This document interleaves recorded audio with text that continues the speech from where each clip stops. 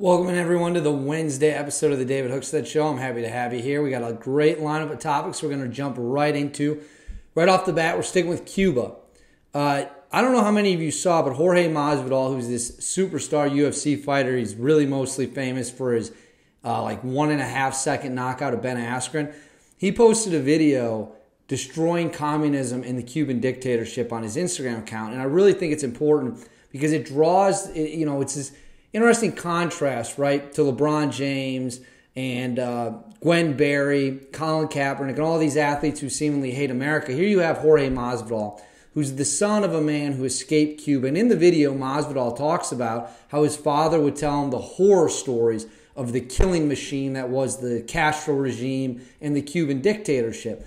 And I think it's important when people like him, have, which have who have this massive platform, are using it to bring awareness to the crimes that are going on down in Cuba. As I said on the Tuesday episode, we should round up everyone who hates America and ship them to Cuba, and then we'll see how loud and proud and boastful they think they are when it comes to shitting on this great country.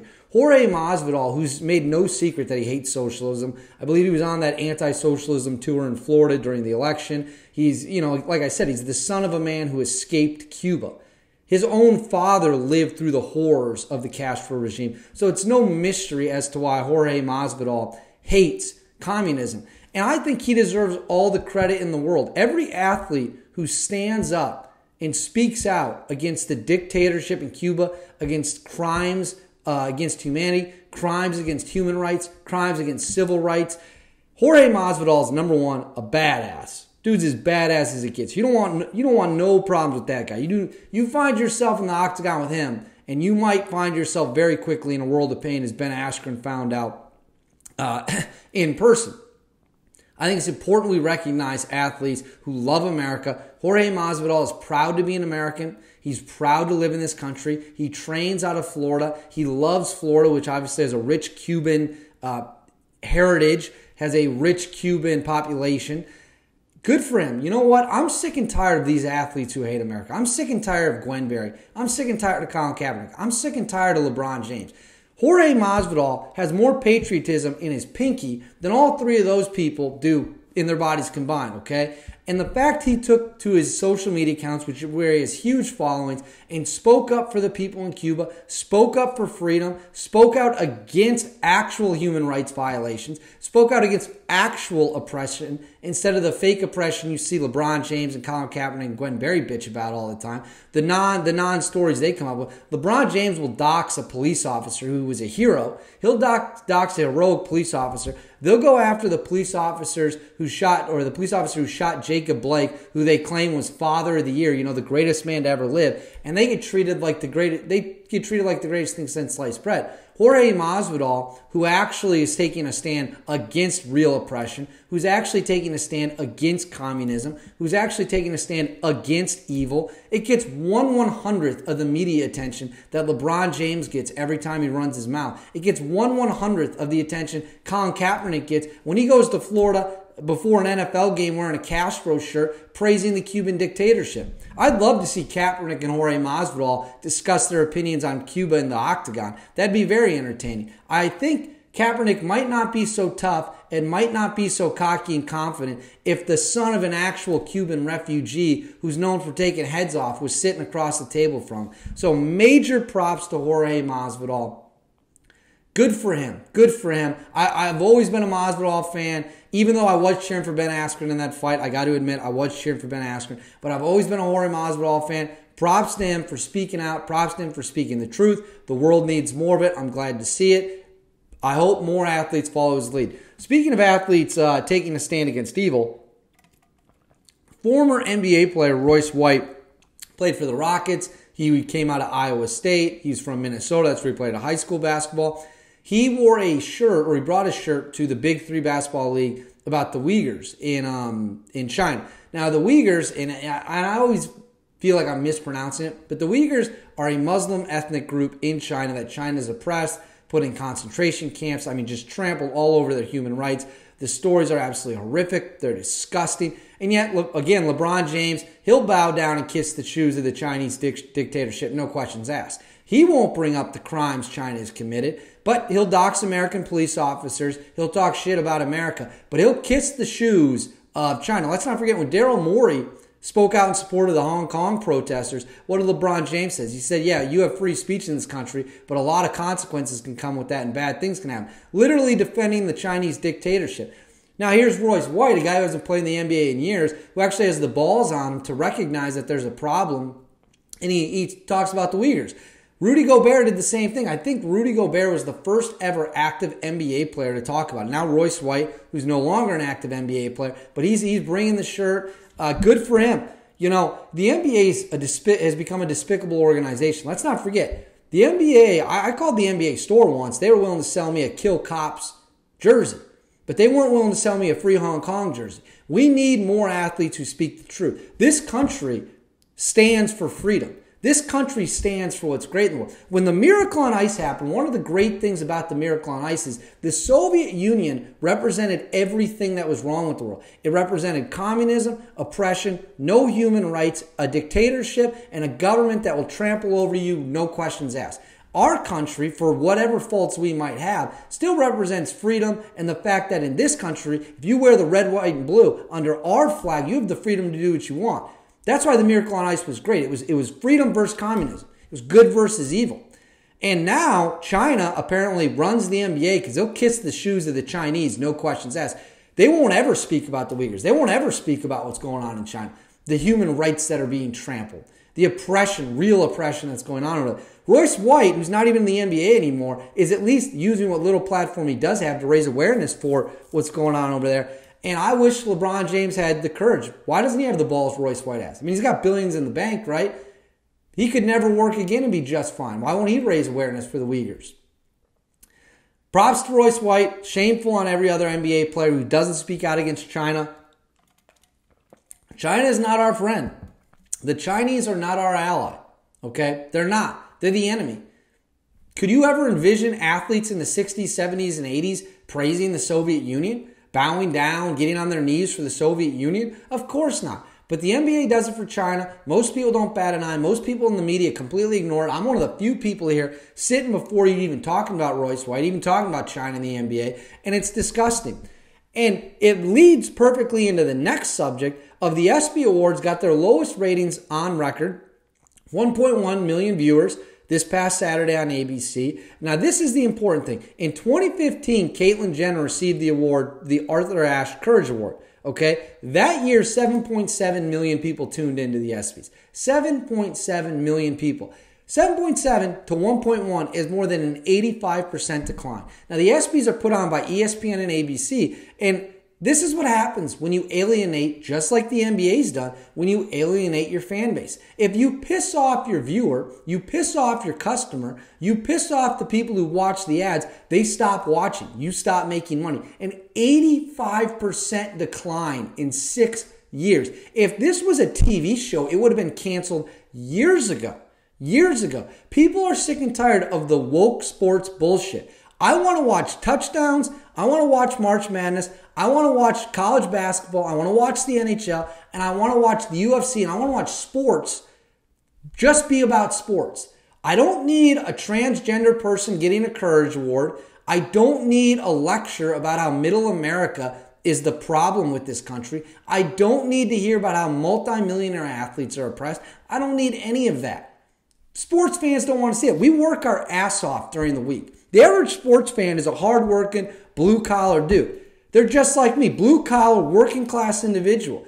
We, I wake up every morning, get to work, grind it out every day, go to bed, and I repeat that seven days a week. Weekends, holidays included. Saturday, when the sport, when the football game is on, I just want to watch football. Sunday, when the NFL's playing, I just want to watch football. I don't need to hear about all the suppression you think exists. I don't need to hear your soapbox speech. Okay? But instead, ESPN went woke and it destroyed the network. And the ratings reflect that an 85% decline in six years. 85%. I mean, it's hard to believe it's even real. You have to try to screw up that badly, and yet ESPN did it. Speaking of embarrassing, Gregg Popovich needs to check his attitude and check his ego Gregg Popovich is coach of the Team USA basketball squad for the Olympics, who just lost back to back games against Nigeria and Australia. Now, I don't have anything against people from Nigeria. I don't have anything against people from Australia. I know people from Nigeria and Australia. They're good people, they're fun individuals, right? There is no excuse for the United States of America to be losing basketball games to any country in the world. The only country in the world that should even be allowed to be within, you know, 15 points of us is Spain. We should be beating the shit out of these teams. So Gregg Popovich lose back-to-back games. You'd think he'd show a little humility. You'd think he'd be humbled a little bit. Gets into a press conference, gets asked about how we used to blow these teams out, and he go, goes on some rant about how, well, you're not respecting the other team. We never blow these teams out. You know, they're good teams. Uh, no, they're not. Okay, that's a lie. That's a lie. They're not good teams. They're not good teams compared to us when we have Kevin Durant, Damian Lillard, and a bunch of other superstars running around on the court, future Hall of Famers out on the court. They're not good teams to us. We beat Nigeria like 80 points in the 2012 Olympics, okay? We crushed them. In 2016, I think we beat them by almost 40. And yet now all of a sudden we're going to pretend like there weren't blowouts. We beat China in 2016 by I think 60 points. Okay, the idea that the USA basketball team doesn't blow people out. We beat Serbia in the gold medal game by about 30. The gold medal game. Spain has given us problems in recent years because Spain has a lot of really good talent on their team. They play good basketball. Other than that, there's no excuse for us not blowing out anyone. Remember in 20 or 2004 when we lost to Puerto Rico? We lost to Puerto Rico, I believe, or Puerto Rico, Costa Rica in the in the goddamn Olympics. Are you kidding me? That it, now we're losing to Australia in Nigeria. Herb Brooks would be rolling over in his grave if he could see this BS. It's disgusting. And for Gregg Popovich to then get on his high horse and rant and rave at a reporter like the reporter's somehow below him, Popovich, you just lost to Australia. You know, as Herb Brooks said to Jim Craig after we lost an exhibition game to the Soviets, and he said he was going to pull him, he said, uh, Jim Craig said, that's my goal. And Herb Brooks said, they just scored 10 goals. Right now, it's everyone's, it's everyone's net. Right now, this basketball team is being humiliated by everyone. Until then, Popovich should shut the hell up and learn to win, and then he can go out there and talk shit to reporters. Until then, keep your keep your mouth shut. Conor McGregor's fall continues and it's it's very disheartening. So he d- deleted some tweets where he tweeted photos of Dustin Poirier with his daughter and, and said uh, Gonzo or Gon, uh, Gonzo. Uh, I don't really know what that, but essentially he seemed to imply that they're done, that they're, they're that he was threatening them. He deleted. I used to be a big Conor McGregor fan. I don't think I'm a Conor McGregor fan anymore. His actions in the octagon against Poirier, his his his tweets him threat appearing to threaten him and his wife, the DM stuff. I, I just don't think I can be a Conor McGregor fan anymore. And it's really sad because this guy used to be on top of the world. And now it's like watching a wounded animal whose ego has been shattered and destroyed, claw and scrape to hang on to relevance. I mean, Poirier beat his ass before he broke his leg. Let's not get it twisted. He was getting obliterated before he got hurt. He had no chance of winning that fight. And for him to then make it personal and the death threats and all that stuff, it's really sad. I used to really like Conor McGregor. I used to love watching him fight. And now, I don't know. It, it, his fall from grace has been something else. It's been something to behold. It's really sad, really shocking. It, it's just, it's just a damn shame. He seems like he needs some mental help. He seems like he's not all there, not playing with a full deck. It is what it is. Next, Joe Rogan says it's horseshit that Sha'Carri Richardson got uh, suspended for the Olympics for smoking marijuana. He called the Olympics disgusting. Real quickly, I agree. Look, she knew the rules, she broke the rules, and she's suffering the consequences. We get that. Okay, I'm not arguing that she didn't break the rules. What I'm arguing is that the rules shouldn't exist in the first place. Now, I've seen a lot of morons on Twitter who think they're dunking on people by saying that, well, weed actually can enhance your performance. If you think weed makes you run quicker, or makes you a better Olympian, then you're just dumb. You just don't know anything about sports. And more importantly, there's drugs that actually do enhance your performance that are allowed in, in, in the highest levels of sports. Case in point, case in point, Toradol. Now I've taken Toradol before. I know the effects of it. Okay, Toradol is an anti-inflammatory drug that gets shot up to players in the NFL left and right. Okay, and there's no problem with that. It has a huge impact on your ability to play. A lot of NFL players won't play before they get their Toradol shot. Okay, so they you get that shot and you feel loose, limber, and ready to go. So that's totally fine. We'll hand out pain pills like it's candy and we'll shoot people up with Toradol without asking a second question. But God forbid you smoke weed and get high. Well, you can't then run in the Olympics. I'm not endorsing weed. I'm not saying you should go out and smoke weed. I'm saying that there's no consistency here. And we'll also let people who are transgender shoot themselves up with chemicals, call themselves a woman, and go compete in the Olympics. No questions asked. But God forbid you smoke some you smoke some marijuana. No, no, no. That's performance enhancing drug. You're not allowed to go. To quote to quote Joe Rogan, it's absolute horseshit. He's 100% right. Now this is a story I've been really fired up about. Okay, Yellowstone through three seasons has received no major Emmy nominations. It just received its first one ever when the nominations came out Tuesday for, I believe, set design or, or outdoor cinematography, something like that. It's nothing to do with acting, nothing to do with the story itself. Yellowstone being disrespected like this can be boiled down to one main point. Middle America and blue collar America and working class America in, in the mountain range people they love Yellowstone. It appeals to the average person. The average person loves the Kevin Costner show, right? It's not woke. It's not woke at all, actually. It uh, it doesn't lecture you. It, it represents family values. It's a pro-life, pro-Second Amendment, pro-family, pro-tight knit community show and that's why elitist award shows like the Emmys hate it. It's the most popular show on TV since 2018. Okay. It's the most popular show, summer show, three years running. Uh, 2018, 2019, 2020. And I'm sure when it comes back in the fall in 2021, the ratings will be even bigger as the following and following grows. So it's America loves it and award shows hate it. And it's not because award shows know that Yellowstone's not great. They know Yellowstone's great. It's because award shows hate middle America. They hate you. They hate me. They hate everyone who watches Yellowstone.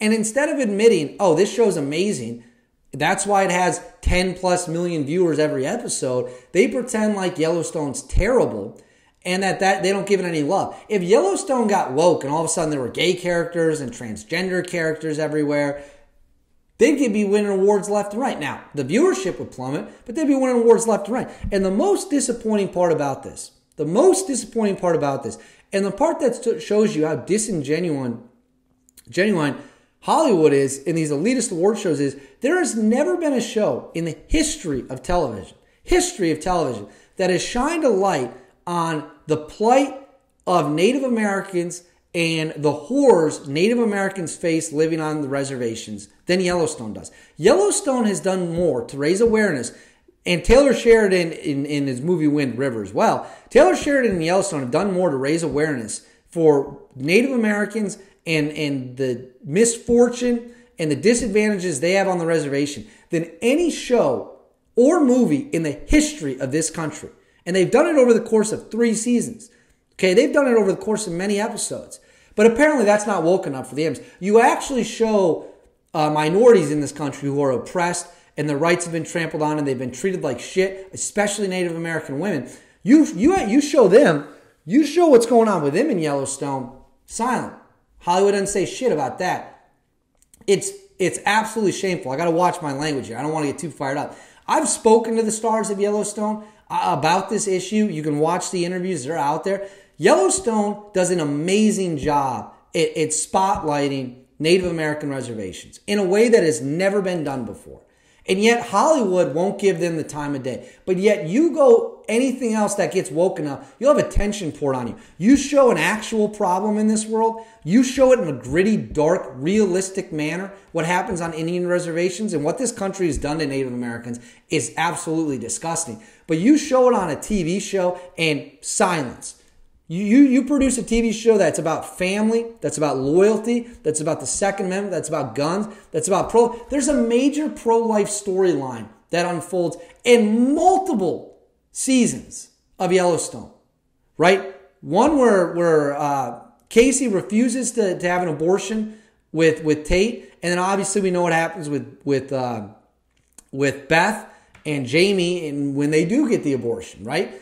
So the show is pro life, pro family, pro Second Amendment, pro America, pro military, and it, it shines a light on actual disadvantaged people. And yet Hollywood shits all over it. It's disgusting. Award shows are a joke. Viewership actually matters, and America is determined Yellowstone is a winner. So fuck the Emmys. Who cares? Finally, this is a little bit of a cautionary tale. Instagram model Sofia Cheung, Chung, Chung, uh, I apologize, I don't know if I'm pronouncing that right. She died after falling off a waterfall in Hong Kong while trying to take pictures. How many times have I said I watch women with no following, just a few thousand followers, in their late 20s, early 30s. The, the, their ship on Instagram fame has sailed, and yet they're still out there breaking their back for a few likes. It's it's embarrassing to watch.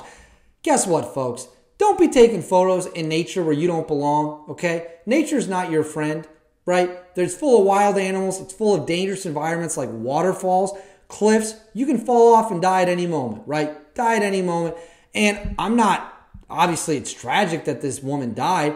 But hopefully, it serves as a cautionary tale to everyone else that if you play stupid games, you might win stupid prizes. And fucking around near a waterfall is a great way to end up in the hospital or dead.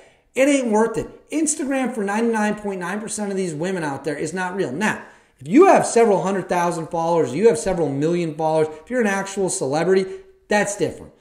You know what you don't see celebrities doing on Instagram? Dicking around in waterfalls and cliffs trying to take photos. So it ain't worth it. It just ain't worth it. Anyways, that's all we got today. Make sure to check back Thursday for the last episode of the week of the David Hookstead Show.